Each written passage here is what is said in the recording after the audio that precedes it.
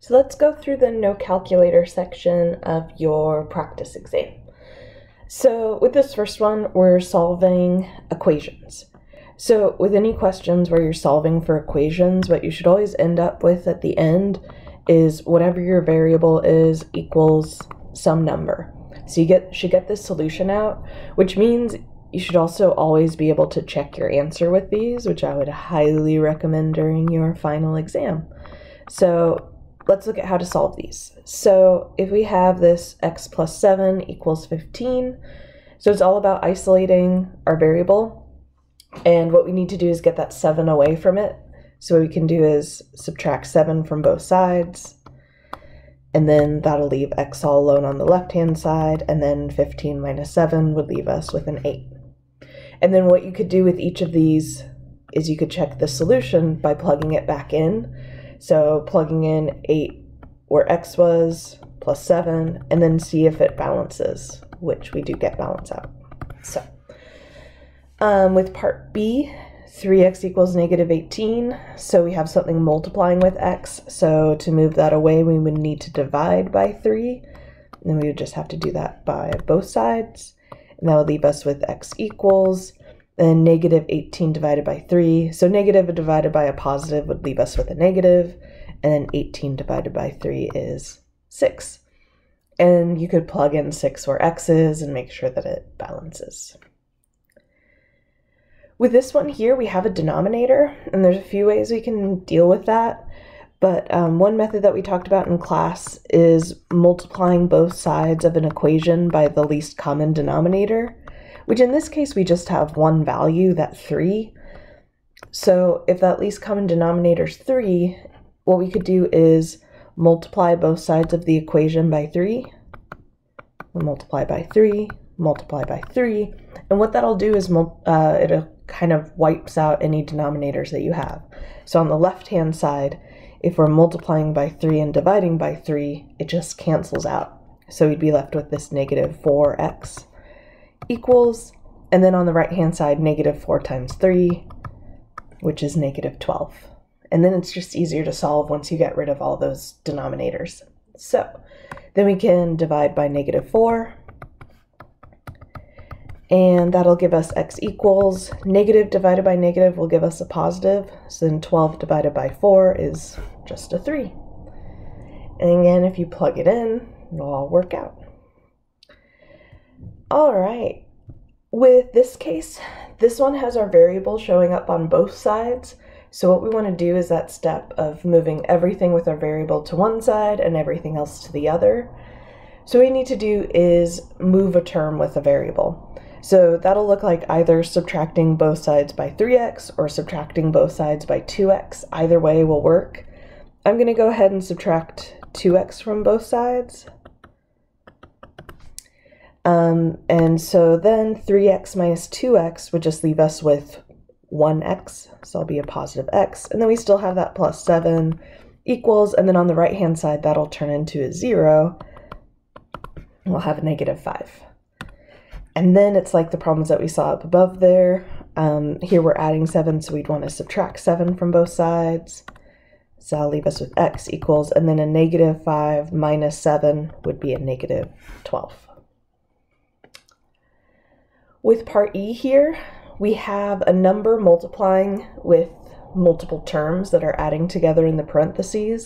So this brings through that distributive property, which means we distribute that value of 3. So how that would look is we'd have 3 times x, and then plus 3 times 2, and then that equals that 27 on the right-hand side.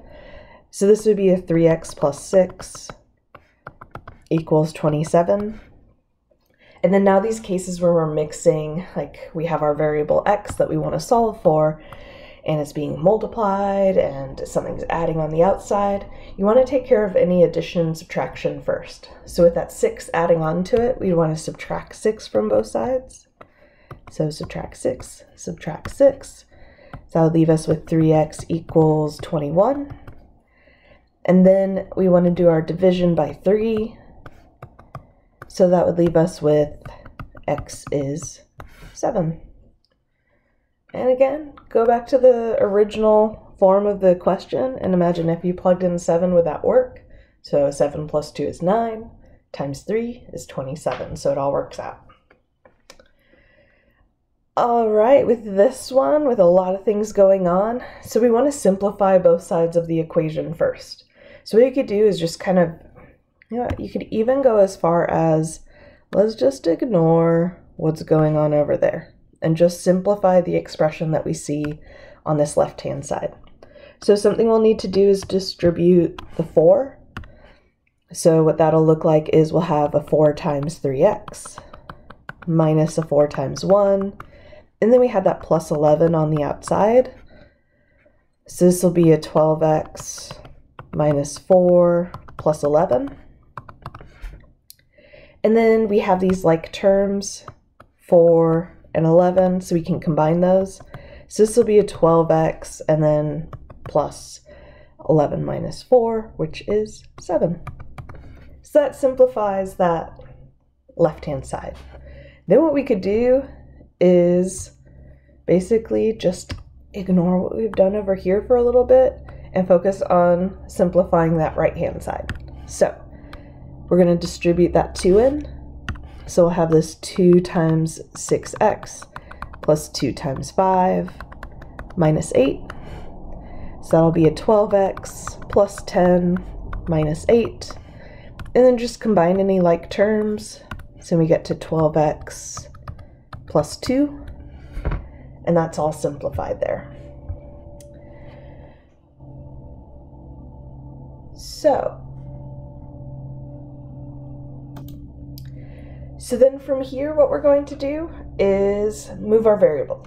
So what we would do is subtract 12x from both sides, subtract 12x from both sides, and what that will do is it'll cancel on the left hand side, so we'll just have 7. And then on the right hand side, it also cancels. So what we end up with here is something without a variable. And what that means is that there's two possibilities.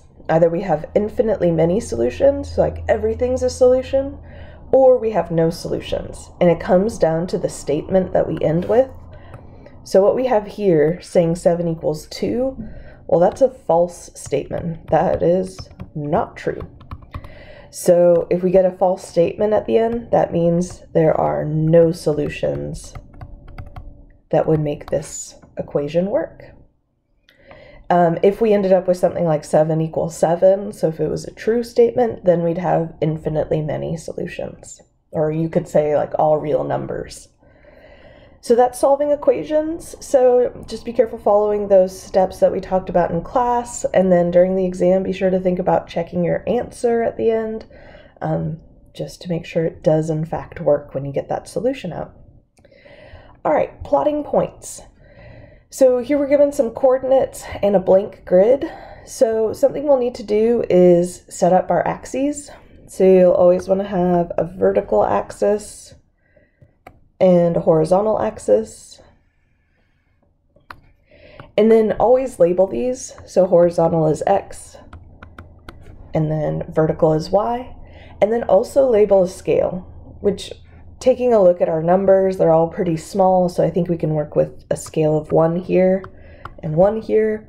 You can label more if you want to, but just setting the scale for X and Y, if you do this minimum, that's enough information. But you have to do it for both X and Y because you could use different scales depending on the numbers you're seeing.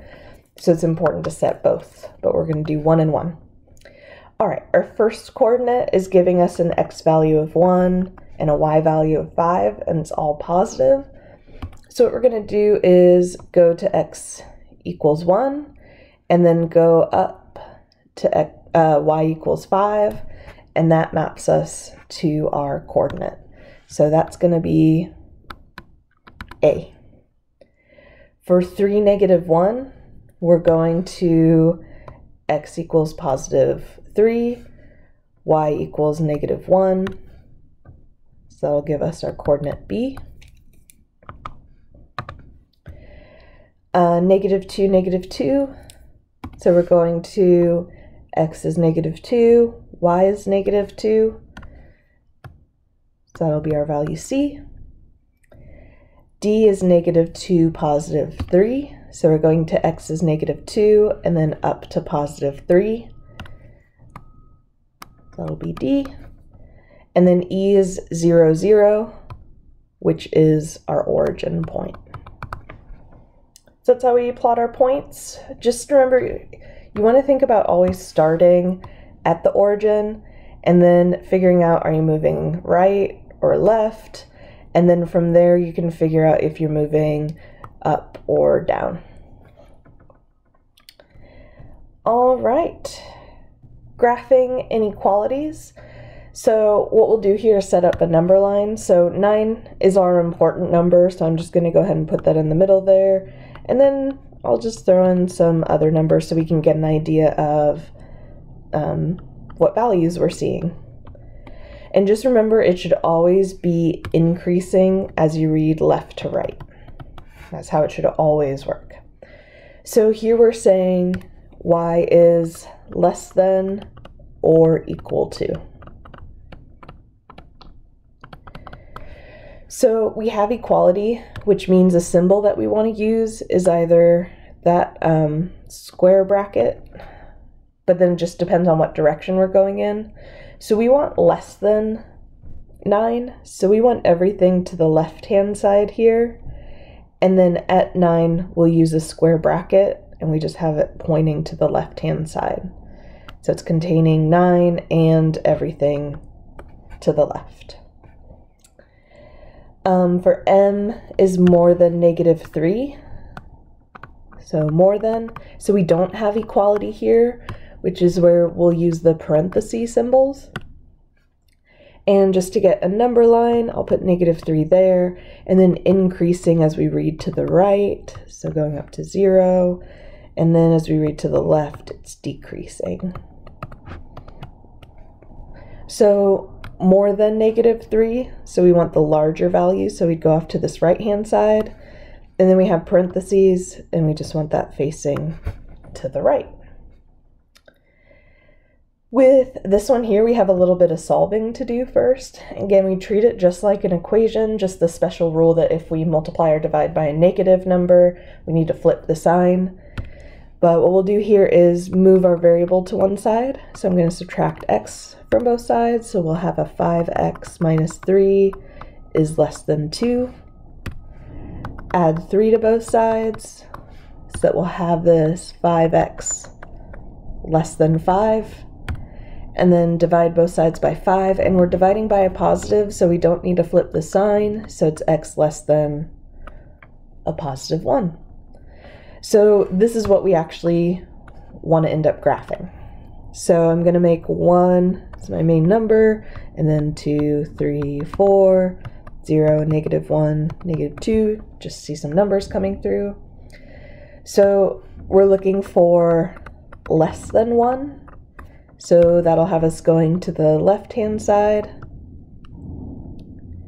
And then, since we don't have equality, we'll be using the parenthesis symbol. So that makes our graphs. All right, completing a table and then making our graph. So to complete the table, what we need to do is plug in these values for x. So this 2x minus 5 is giving us this structure to follow. So for each of these, it's about plugging in different numbers for x and then solving.